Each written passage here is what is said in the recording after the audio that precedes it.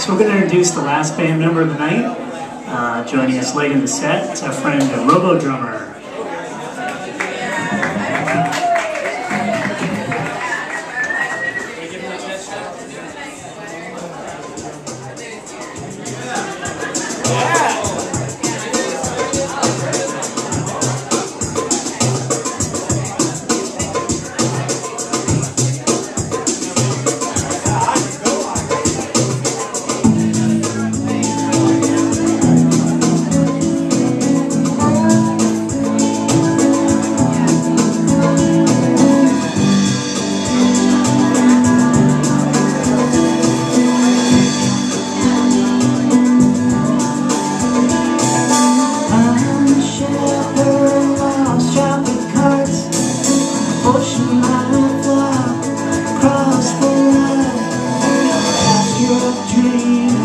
song just